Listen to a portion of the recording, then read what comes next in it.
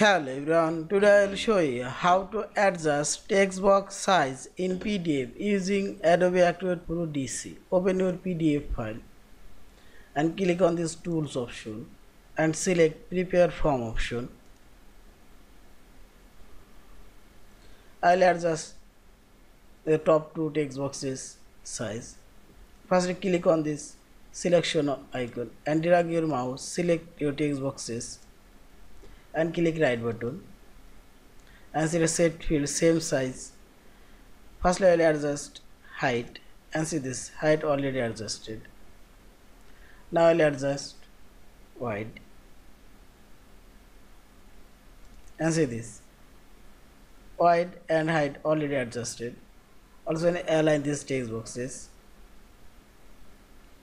bottom and see this. Also I'll adjust these two text boxes click on the selection icon and drag your mouse and click right button and select a. I'll adjust height and see this height already adjusted. Now I'll adjust width width and see this.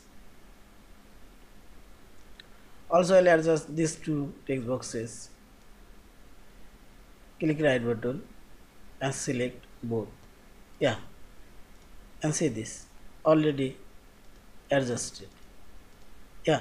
In this way you can adjust all of your text boxes as you like or want thank you for watching. Please subscribe like share and comments